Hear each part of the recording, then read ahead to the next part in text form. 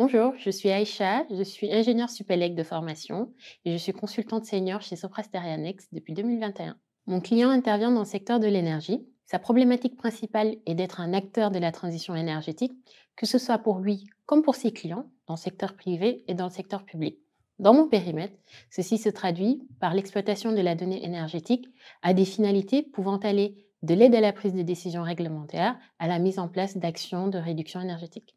Au-delà des missions, Soprasteria nous permet de nous investir dans des sujets qui nous tiennent à cœur.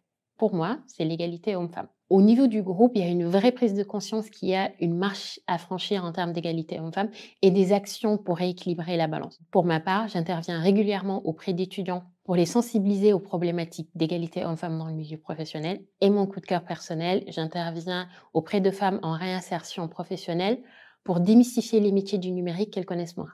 J'ai choisi d'être consultante pour les mêmes raisons que j'ai choisi de suivre une formation d'ingénieur. Je n'aime pas m'ennuyer. Le métier de consultant nous permet d'être régulièrement confronté à de nouvelles problématiques auxquelles il faut apporter des solutions.